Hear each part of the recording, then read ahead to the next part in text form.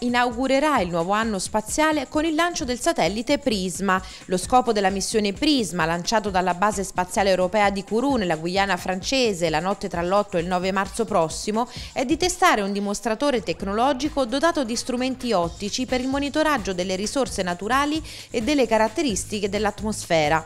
Il satellite dell'Agenzia Spaziale Italiana studierà la Terra utilizzando un sensore ottico iperspettrale che può aprire nuovi scenari per il controllo dei processi ambientali del nostro pianeta. Ci sono favole più moderne di altre, racconti importanti e necessari che in un certo periodo fotografano e insegnano a grandi e piccoli un inno alla vita di cui si sente bisogno. Oggi le edizioni Sonda lanciano La città in fondo al mare, un albo che racconta ai bambini e non solo il tema delle migrazioni.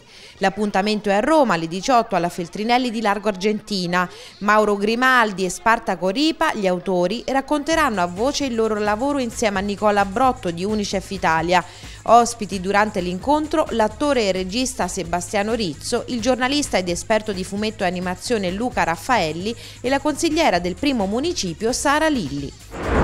Arriva oggi al cinema L'esorcismo di Anna Grace, film diretto da Didrik Varrojenko e distribuito da Warner Bros. Un esorcismo difficile si conclude con la morte violenta di una giovane donna. Mesi dopo Megan Reed sta lavorando al turno di notte in obitorio quando prende in consegna un cadavere sfigurato. Da sola nei corridoi del seminterrato, Megan si trova ad affrontare visioni terrificanti e inizia a sospettare che il corpo possa essere posseduto da una spietata forza demoniaca demoniaca.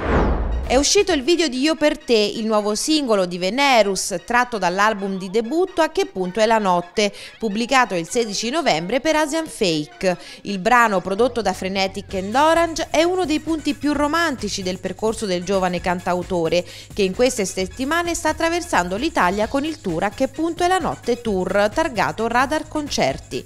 Io per te apre le porte del mondo di Venerus, l'amore nella sua forma più psichedelica, la passione in quella più eterea, un mix unico e intrigante esaltato dal video diretto da Andrea Cleopatria. Nello stesso giorno in cui 50 anni fa l'uomo muoveva il primo passo sulla Luna, Salmo atterrerà a Genova per il suo terzo Goaboa. Dopo gli incredibili sold out del suo playlist tour è attesissimo il 20 luglio all'Arena del Mare, nella meravigliosa cornice del Porto Antico di Genova. Eclettico, geniale, anticonformista, provocatorio, difficilmente etichettabile, Salmo è oggi sulla bocca e nelle orecchie di tutti e con pieno merito in cima a tutte le classifiche.